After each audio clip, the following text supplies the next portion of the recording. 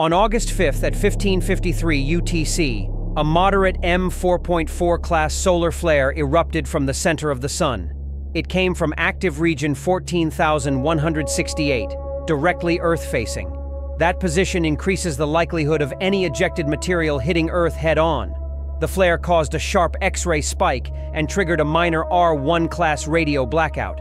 Within minutes, HF radio signals up to 20 megahertz were absorbed across much of the sunlit hemisphere, including the Americas, Atlantic, and parts of West Africa. The blackout was short-lived, but confirmed. Visual data also showed clear coronal dimming and a shock wave, strongly suggesting that a coronal mass ejection was launched. While final confirmation from coronagraphs is pending, early indicators point to an Earth-directed CME. There's no sign yet of a radiation storm. The proton background remains stable, and geomagnetic activity is quiet. But a potential impact window around August 8th is now being tracked. If the CME connects, we could see increased auroras, magnetic disturbances, and possible disruptions to satellites and high-frequency communications. This region is still active, and further flares are possible in the days ahead. Monitoring continues.